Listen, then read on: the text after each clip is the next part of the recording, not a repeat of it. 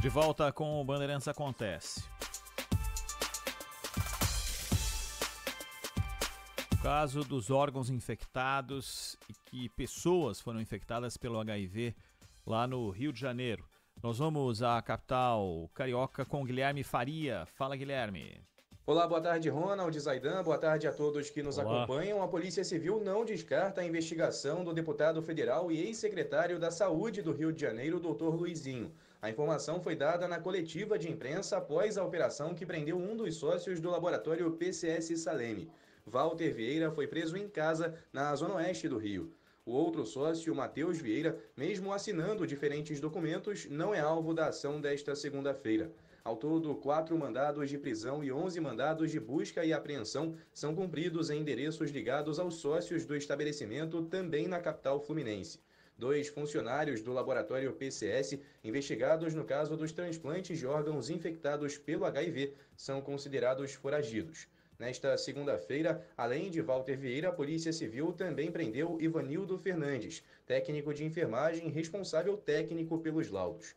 Em nota, Dr. Luizinho afirmou que o caso de transplantados contaminados com HIV é gravíssimo. Na declaração, ele também afirmou que é médico há 27 anos, foi secretário de Saúde do Estado do Rio por duas vezes, com uma vida pública e privada dedicada de forma praticamente integral a melhorar e fortalecer o sistema de saúde.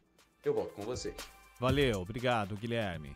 O Zaidan, bom, prisão, né, de, de gente ligada ao laboratório e com muito político falando e muitos deles tentando tirar o corpo fora disso que aconteceu, né? É, o doutor Luizinho entrou na história principalmente porque um dos donos lá do laboratório é tio dele, né?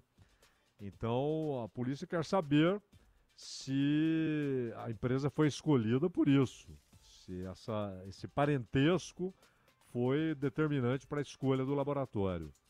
E também o que a polícia defende, claro, uma coisa é o que a polícia acredita ter acontecido, outra coisa é o que a justiça decidirá.